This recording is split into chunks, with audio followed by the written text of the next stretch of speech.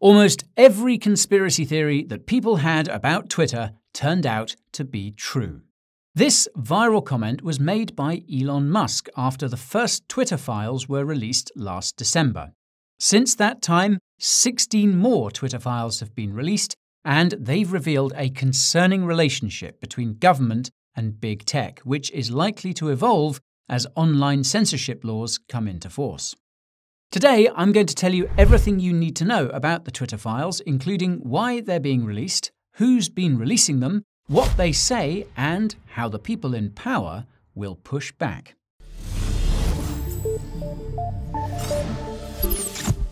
Let's start with a bit of background.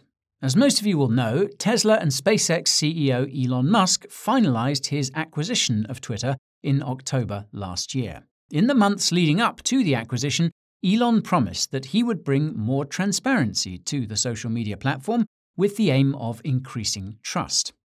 In November, he delivered. He tweeted, quote, "The Twitter files on free speech suppression soon to be published on Twitter itself. The public deserves to know what really happened." In December, the first set of Twitter files were released in a thread by American author and journalist Matt Taibbi.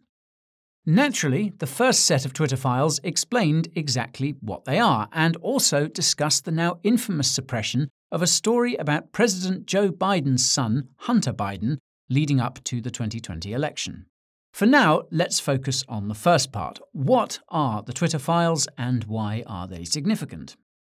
In short, the Twitter files are a collection of internal documents at Twitter which basically prove that the US government was working closely with the social media platform to censor certain information. This is significant because in the United States, free speech is protected under the First Amendment. Now, to be clear, Twitter is a private company, meaning that it is under no obligation to abide by the First Amendment. However, the US government is obliged to abide by the First Amendment.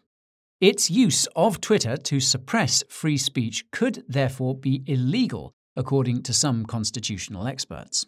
Another reason why the Twitter files are significant is that they suggest the US government could be engaging in censorship on other social media platforms.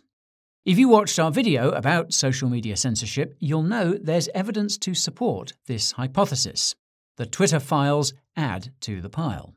Now, as I mentioned in the introduction, there have been 17 sets of Twitter files so far, and they've been posted as lengthy threads by multiple journalists. Besides Matt Taibbi, the list includes Michael Shellenberger, Bari Weiss, Lee Fang, David Zweig, and Alex Berenson, all of whom are well respected. But of course, they've all since become de facto enemies of the state for being involved in this. Now, it's important to point out that the Twitter files aren't just sitting there waiting to be reported on. In an interview with Kim Iverson, David revealed that even though they have unrestricted access to Twitter data, thanks to Elon, it's been very difficult to dig up the information they're looking for. This is in part because Twitter systems weren't designed to be searched. It's like they have access to the entire internet, but no Google to search through it. The difficulty is also due in part to the obstruction and sabotage that the journalists have faced from Twitter employees, most of whom have been fired. The silver lining is that it's been easy for them to know when they found something. In an interview with Joe Rogan, Matt gave an amusing example of this. A document containing phone numbers for a secret social media censorship group chat for big tech companies was titled Secret Phone Numbers. There's OPSEC for you. And with that background in mind, let's dig in. You'll recall that the first set of Twitter files talked about the suppression of a story about Hunter Biden. I'll start by saying that both political parties were involved in social media censorship, as was almost every single branch of the US government, particularly the intelligence agencies. The difference seems to be that Republican affiliated entities suppressed the discussion of specific subjects, namely panic buying at grocery stores at the start of the pandemic. By contrast, Democrat affiliated entities suppressed specific people and even specific tweets. Make of that what you will. Anyways, the TLDR with the Hunter Biden story is that he left a laptop at a computer repair shop containing information which suggested that his old man was doing shady stuff. The story was published by the New York Post in October 2020, shortly before the November 2020 election. The story was suppressed by Twitter and other social media outlets, apparently at the requests of Democrat interests. Many Republicans have since argued that the 2020 election outcome would have been different were it not for the censorship of the story. But, well, I guess we'll never know. Now, the second set of Twitter files was published a few days after the first. The topic was Twitter's secret blacklisting policy, also known as shadow banning. For context, Twitter executives had denied for years that the platform shadow banned users and would never do so for political purposes. Lo and behold, the second set of Twitter files confirmed that Twitter did have a shadow banning system in place designed to limit the reach of specified users. This suppression was almost always political. It also went into overdrive during the pandemic, with those skeptical of pandemic restrictions being targeted. The third set of Twitter files was apparently published on the same day as the second. The topic was the controversial removal of then US President Donald Trump from the platform. This was also the topic for the fourth and fifth sets of Twitter files, so I'll lump them all together for the sake of simplicity. For starters, Twitter's top staff worked tirelessly to suppress Trump's reach on Twitter. Following the contentious events of the 6th of January, Twitter's top staff essentially came up with a new content policy to justify banning Trump. The files seem to imply that they were pushed to do this by Democrat interests. This involved axing Twitter's public interest policy, which stated that information, no matter how controversial, should remain on the platform so long as it's not illegal. The public interest policy was replaced by a new policy called the Glorification of Violence policy, with Trump as the first offender. As explained by Matt in that aforementioned Joe Rogan interview, the glorification of violence policy includes an assessment of who follows a person on Twitter to determine whether that person incited violence.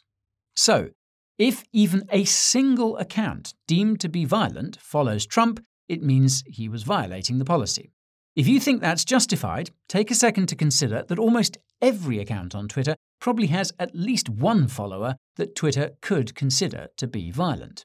In other words, the policy could theoretically be applied to whichever accounts Twitter wants to get rid of, which is pretty scary. Anywho, the sixth set of Twitter files is where things get even scarier. They revealed that Twitter was in such frequent contact with the FBI that the social media company could be considered a subsidiary of the intelligence agency. The FBI provided hundreds of takedown requests, and Twitter always complied. Not only that, but the number of former FBI agents working at Twitter was so large that they'd created their own Slack channel. For reference, Slack is a platform that's used to coordinate workplace communications. Much of the sensitive info in the Twitter files came from these Slack discussions. These files also revealed that Twitter complied with censorship requests from NGOs. Matt's conclusion was that, quote, what most people think of as the deep state is really a tangled collaboration of state agencies, private contractors, and NGOs. The lines become so blurred as to be meaningless. Now, the seventh set of Twitter files return to the topic of the suppressed Hunter Biden story. This is because the independent journalists discovered that both Twitter and the FBI were aware of the fact that the contents of the laptop were likely genuine, but insisted that it was Russian disinformation. The eighth set of Twitter files were about another scary subject, and that's how Twitter helped the US military execute propaganda operations overseas. They shaped narratives about foreign conflicts that put the US in a positive light and even used fake accounts with AI generated deepfakes to this end. Now, deepfakes are no joke, and it looks like the powers that be will use them as an excuse to require KYC to use social media. You can learn more about that by watching our video about deepfakes using the link in the description. I digress. The ninth set of Twitter files were about Twitter's relationship to all the other US government agencies. This set of Twitter files seems to have been a response to the FBI's own response to the previous set of files, which the feds predictably claimed were all a conspiracy theory to discredit the agency. Funnily enough, the Twitter files found that the FBI acted as a sort of doorman between Twitter and other US government agencies, allowing them all to submit content takedown requests and whatever else. This included censorship of discussions about atrocities related to the war in Ukraine. You can guess why. What's wild is that the long list of US government agencies included local police departments, which had the power to search and censor users and posts. These privileges were presumably granted by all the big tech companies involved in online censorship meetings, including Facebook, Microsoft, and even Reddit. Now, the 10th set of Twitter files are about a touchy topic, so you'll forgive me for speaking somewhat in code. As you might have guessed, the topic is the pandemic, which we're still technically in. These Twitter files found that true information was suppressed and censored if it went against the official pandemic narrative. The instructions for this suppression came directly from the White House, both under former President Trump and current President Biden.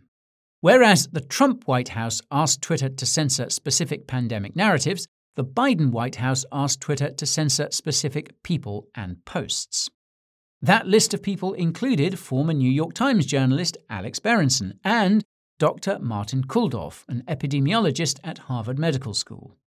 The list of posts included those which cited official government statistics or statements about the pandemic which discredited the official narrative, what they call the science. Anyways, the 11th set of Twitter files explains the history of the social media platform's partnership with intelligence agencies. This set of files suggests this collusion only began in 2017 when Democrat interests insisted that Trump had won the 2016 election due to Russian interference. It appears that there is no evidence of any significant Russian interference in the 2016 election, at least according to the Twitter files. Rather, Russian interference was used by US government agencies as an excuse to further infiltrate big tech companies and dictate how information is shared online. This ties into the 12th set of Twitter files, which suggest that Twitter was coerced into complying with the US government. This is because they would have politicians push for anti big tech legislation and leak information to the press whenever Twitter refused to comply with their censorship requests. This combination of private and public pressure intensified when the pandemic began. US government agencies pressured Twitter to suppress information about the origins of the pandemic. The US government has since pulled a complete 180, with the FBI confirming original suspicions were indeed correct. The 13th set of Twitter files came from Alex himself, and they discuss how debate about a particular pandemic treatment was suppressed by Twitter.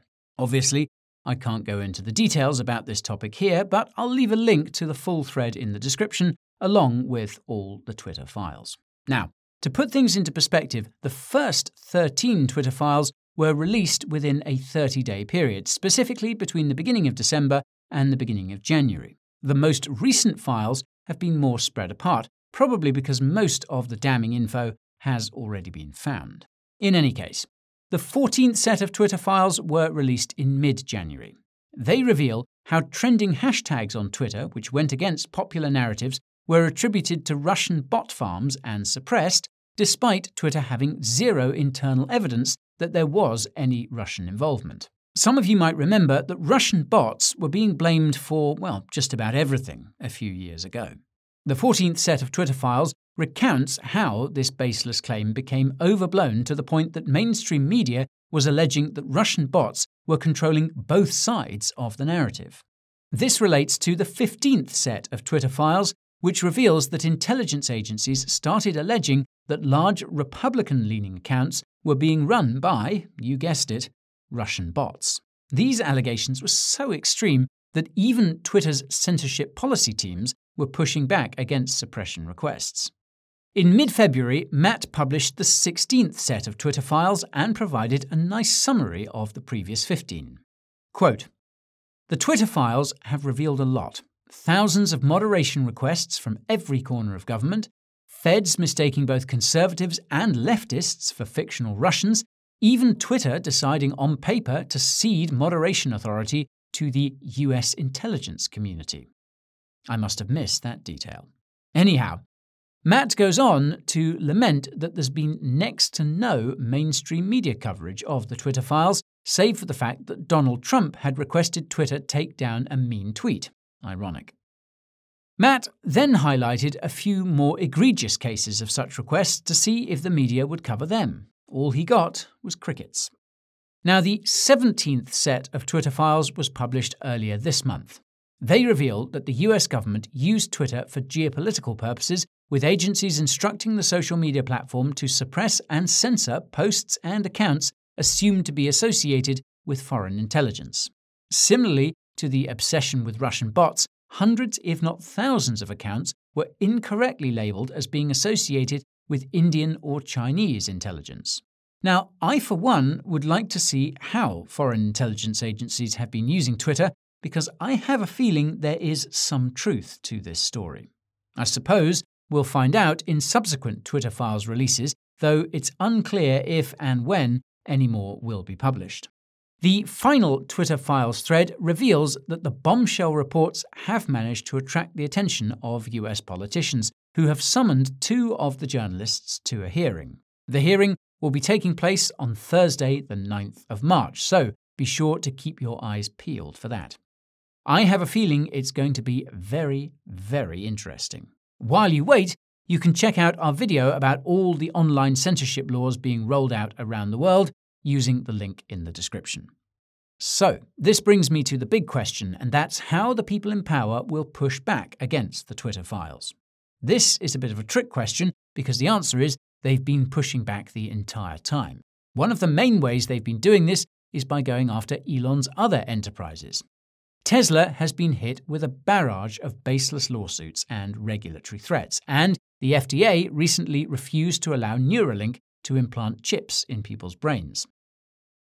Targeting Elon's other enterprises makes sense because that's where most of his wealth comes from, and he used that wealth to acquire Twitter. Twitter has also been the target of a relentless propaganda campaign claiming its fresh free speech approach is destroying the world in every possible way. That is a little unfair, if you ask me, considering that Twitter and all other social media platforms have been making the world a nastier place since long before Elon got involved. Anyway, most of this propaganda has come out of the European Union, which will begin enforcing its online censorship laws this summer.